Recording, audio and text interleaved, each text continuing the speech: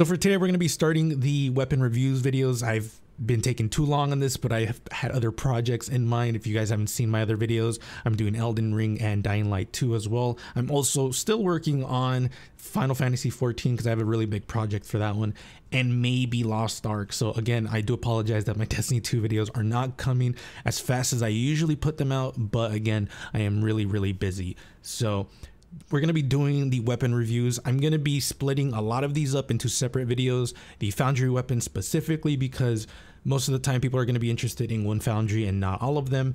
And honestly, it's just going to be easier for me to do this because these videos are going to be literally like maybe five to 10 minutes, not even that long, like probably eight minutes pushing it, just because there's three weapons on each foundry. So don't think I'm just doing this just to extend more content. It's just, it literally helps me um, make these videos a little bit faster. So I do apologize if you were expecting a big chunk, a big video of just the foundry weapons, but again, it's going to be easier for me editing and just everything else. So I do apologize, but if you guys like the videos, like, comment, and subscribe really does help. And let's just get right into it.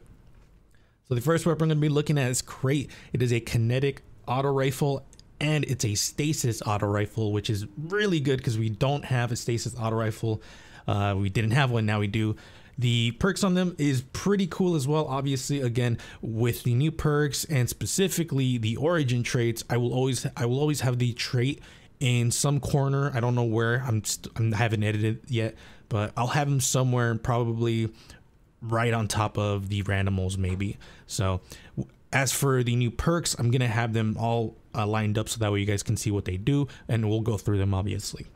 So for the first row, we're gonna be looking at is auto loading holster, overflow, stats for all, subsistence, steady hands, and compulsive reloader for the first row. For the second row, it's going to be headstone, focused fury, moving target, one for all, vorpal weapon, and adagio. So the first perk we're going to look at is stats for all. Hitting three separate targets increases weapon handling, stability, reload, and range for a moderate duration.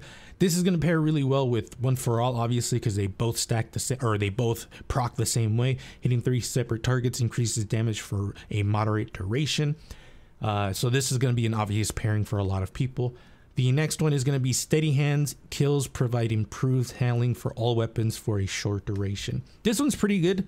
Uh, mostly going to be used for PvP. Honestly, I I think so at least because improved handling is cool, but I don't just I don't see me wasting uh, a slot for just that when there's subsistence, overflow, stats for all even. So I think this is just going to be a much better choice for PvP. And then compulsive reload uh, grants increased reload speed when close to full magazine, which is pretty cool because I know a lot of people are compulsive reloaders. They'll shoot like they'll get a few kills and then immediately reload. So you're just going to be immediately banking from just more uh, reload speed, which is pretty cool. And then for the last row, the only one new one is focused fire. Dealing half of the magazine as precision damage grants this weapon bonus damage. The shot count is reset whenever the weapon is reloaded or stowed.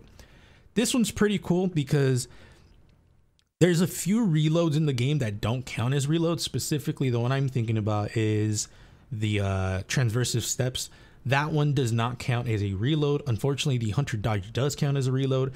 So I'm thinking, does transversive step reset the focused fire. Also, subsistence is another question because it does reload, but it doesn't do a full reload. So I don't know if it actually counts or not. I would be interested in that. And honestly, uh, like I said, stats for all and one for all is going to be something people will go for. Subsistence and focused fire, uh, or one for all. Even Vorpal Weapon, I think I see people going for. I personally have Overflow and Vorpal Weapon. I like that pairing a lot. So, uh, aside from all of that, let's look at the actual Veist Stinger, which is the origin trait. Damaging an enemy. Damaging an enemy with this weapon has a small chance to reload the magazine and increase movement speed while aiming down sights. Bows receive faster draw speed, and swords receive faster charge rate while this perk is active. Which is pretty cool because we don't have a bow and we don't have a sword. So that's probably in future seasons. We're probably going to get those two. Uh, again, Veist Stinger, pretty cool. Uh, I've seen it per- proc a few times and it's pretty interesting. overall, this is probably one of my favorite weapons from Vanilla Destiny 2, just because uh, it was fun. It was a good auto rifle at the time, and I love how it reloads. I love pretty much everything about the gun itself. So that's pretty much it for Krait. Let me know what you guys think in the comments below. But next one is gonna be funnel web. Funnel web is a submachine gun in the energy slot, a void submachine gun as well. So any of you guys who have wanted wanted to use a void submachine gun, now is your time. As for the perks themselves, let's go through the first row, which is perpetual motion, uh, killing wind, subsistence, auto loading holster, steady hands, and pulse monitor for the first row. For the second row, it's going to be thresh, focused fire, frenzy, adrenaline junkie, elemental capacitor, and rangefinder.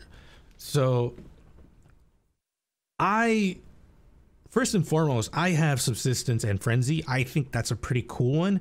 I personally don't like frenzy though because I like I like to have a I like to have a perk that I can actually activate when I want to, not when it it deems it's finally, you know, combat.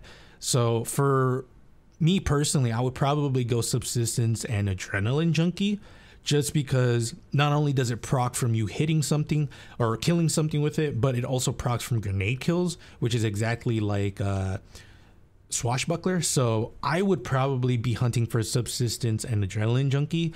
Not saying frenzy is bad by all means, it's actually pretty good. It's just again, I I would rather have the control. Now that being said, if subsistence doesn't proc the focused fire reload, then it's focused fire and subsistence hands down. Uh, for PvP, you probably want to do steady hand, not even steady hand. I mm, maybe that's mm, I don't know. Perpetual motion's pretty cool, and killing wind is really cool as well. But I do see people going for steady hand just to like finish kills, and then you'll. That's the cool thing is I can see people switching to the SMG to either finish people off or just use it as your main weapon, and then you're just getting uh, improved handling over and over, and then at that point you can have a. Yeah, you can have a an aggressive shotgun, and then you'll be getting bonus handling from that. And then, yeah, I can see that happening. I, de- I can definitely see it happening. Steady hands with elemental capacitor would be interesting if you're if you're rocking an arc uh, subclass as well, because then your your handling is all all the way up. But yeah, I don't not much to say about this one. Honestly, again, I'm not gonna go through the new perks. I'm just gonna have them up, but. Uh, again, my my my my choice would probably be subsistence and focused fury for PvP. Uh, I would probably go with Killing Wind and Rangefinder, maybe. I think that's a pretty good one, just because. Well, no, Adrenaline Junkie is pretty good. Maybe, maybe Killing Wind and Range and Adrenaline Junkie, maybe. Uh, that's pretty much it. This is also one of my favorite SMGs from the game. Uh, not surprising, Veist is literally one of my favorite uh, foundries. So again, I'm not surprised. Uh, next one is going to be the Rad, the Redback 5SI. It is a sidearm in the energy slot, a solar weapon as well, and the perks are. I mean, to be fair, I'm not a really big fan of sidearms, uh, unless they're a certain frame. So let's look at the perks themselves. So subsistence, tunnel vision, stats for all, perpetual motion, compulsive reloader, and killing wind for the first row. For the second row, it's going to be turnabout, uh, one for all, opening shot, rampage, vorpal weapon, and surrounded. So, turnabout. Using this weapon to break the shield of a combatant or guardian using their super will grant you an overshield. This one's terrible. it's pretty terrible. At least for PvP, it's pretty terrible. For PvE, it's pretty cool, I guess. But for PvP, I just don't see this being a good perk for a sidearm. Uh, if we're talking about sidearm, I think Subsistence and Rampage is pretty wild that's going to be a really nutty perk, especially for something like this. Uh, again, subsistence and rampage is just weird. I just I don't I know I'm probably gonna go for that role just because it's gonna be nutty for sure. Uh, obviously, a stats for all and one for all is gonna be the perk that most people are gonna be going for, just because why would you not? But overall, I'm not really a big fan of sidearms. So for me, I'm just kind of like whatever's on this. Uh, Killing Wind and Opening Shot would be interesting to see how much range you actually get because if you guys don't know, Killing Wind uh, grants increased mobility, weapon range, and handling for a short duration after a final blow. So on top of opening shot, I wonder how much range you'll actually get uh, if you get like a max range weapon plus killing wind and opening shot. But that's pretty much it for the Veist weapons. Let me know what you guys think in the comments below. Again, I'm gonna do each foundry separate so that way it doesn't like make it basically it's gonna help me push out fat videos faster. So let me know what you guys think in comments below. Thank you for understanding, hopefully, and I will see you guys later.